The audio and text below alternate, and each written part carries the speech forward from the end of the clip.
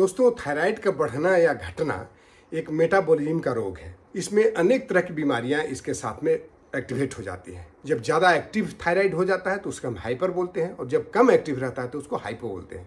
तो हमें इसको ठीक करना बहुत ज़रूरी है, और इसको बैलेंस करने के लिए पाँच ऐसे आसन बताने जा रहा हूँ, जो कि आप प्रतिदिन करेंगे तो आपको थायराइड प्रॉब्लम से मुक्ति मिल सकती है।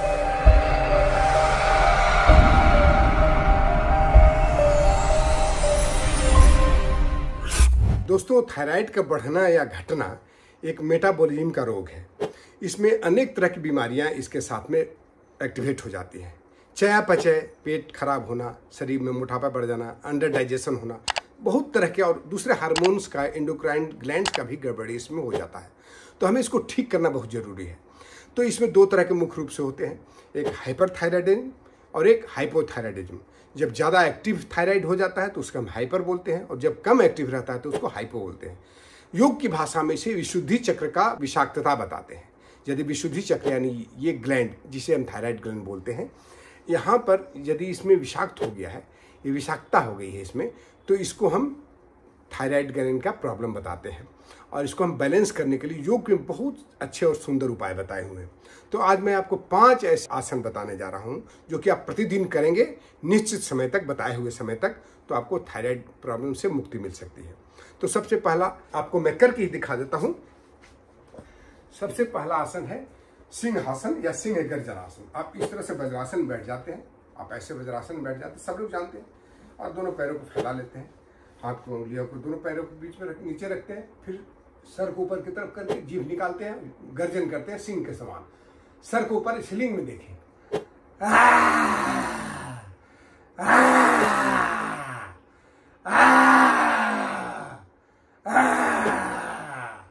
इसको आप कम से कम 10 से 12 बार एक बार में करें। जैसे सुबह कर लिए तो 10 12 बार इसको आप बढ़ा सकते हैं राउंड को ठीक है?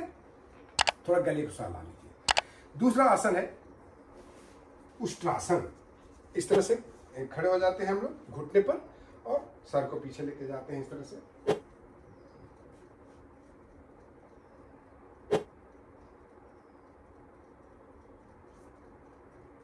इस उष्ट्रासन को एक बार में कम से कम थ्री टाइम्स एक एक मिनट तक करें। उस पोजीशन में थ्री टाइम्स करेंगे, आएँगे बारी बार से एक एक मिनट तक रुकेंगे, ठीक है? ये उष्ट्रासन है। तीसरा है आपको सर्वांगासन। थोड़ा डिफ़िकल्ट लगेगा नए लोगों के लिए। नहीं, बाद में चल के काफ़ी महत्वपूर्ण है। बाद में काफ़ी करने पाइए सब लोग। ऐसे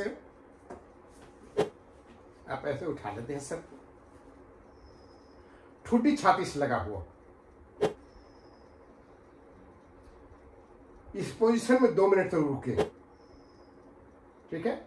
और यदि हो सके तो आप एक और हलासन कर ले, हलासन करने का तरीका।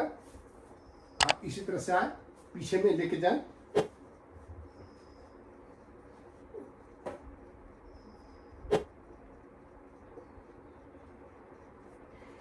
इस पोजीशन में एक मिनट तक रहे।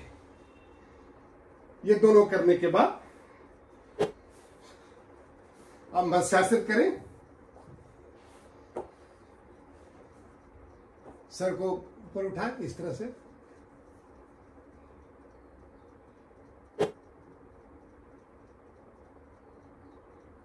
ये मत्स्यासन है जितना देर तक आप सर्वांगासन और हलासन करते हैं, उसके आधा देर तक आप मत्स्यासन करें। ये आपके पाँच आसन, ये पाँच आसन आपके लिए बहुत ही महत्वपूर्ण है और बहुत ही लाभकारी है। दोस्तों, ये अवश्य करें। बहुत बहुत धन्यवाद। जय हिंद।